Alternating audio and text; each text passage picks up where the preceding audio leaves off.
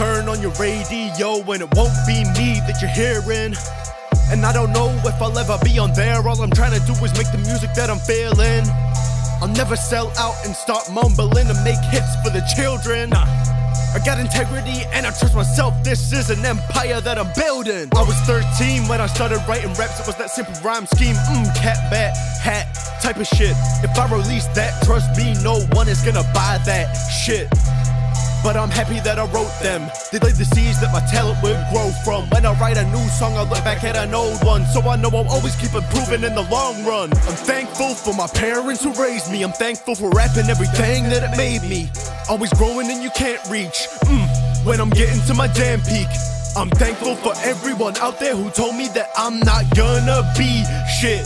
Now you're looking at me and my success like, damn, homie, he's sick. I'm thankful for everyone out there who told that young man that he wasn't gonna make it. I'm thankful for everyone out there who would buy tickets to see me up on stages. I'm thankful for everyone out there who buy and support in the music I'm making.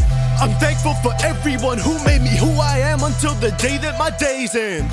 Trying to make stuff you can get behind. My only motive is to try and live a better life. You need to set aside any petty beefs you have, cause if you don't, they'll leave you feeling dead inside. Maybe you're getting high, maybe you're young and dumb and feeling like you're gonna never ever die. It doesn't matter as long as you live your life. Stay happy and you'll never regret your time.